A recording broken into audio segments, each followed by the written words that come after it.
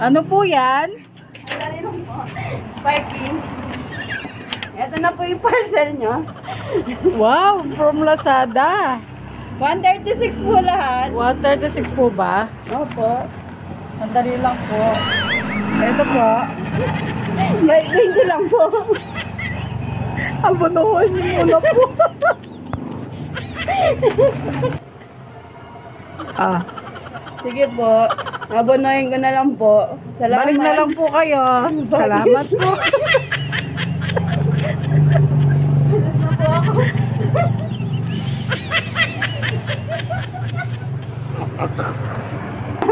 Ayan guys, ayan, natanggap na po natin ito. Tatry natin ngayon kung paano at kung maganda nga itong ah, ating ah, na-deliver kay ano, Ate Lazada. Ayan. Thanks pala kay Ate Lazada kasi siya muna yun ang umabono kasi 20 lang 20 pesos pa lang yung pera ko. Bubuksan na natin ha. Ayan. Samahan na kita. Ayan. Yan yung sumisigat na ano, ayan. Sa Ugwan- Wunder. Sa Ugwunder. Baka kung saan ba galing ito. Ayan. Tignan natin kung totoo. Ayan. Ibababad na po natin siya sa may tubig. Ayan. May tubig na po siya. Ay, ang dilim. Dali lang.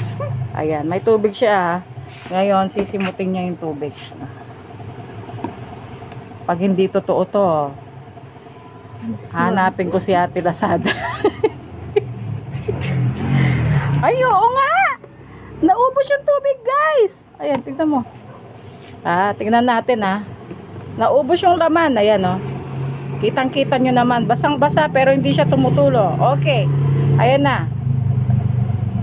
Ayun. Diba? Oh. Oh, diba? Ah. Ayun. Wow, totoo nga. Totoo nga yung sabi nila mga beshi. Ayan, no? Ayan, ilulubog natin ulit para sabihin nyo, ha? Hindi totoo. Ito, ayan. Lulubog ko ulit. Mawala na naman yung tubig niya.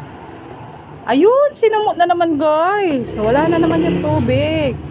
Oh, totoo nga siya. Bili na kayo. Dali, oh.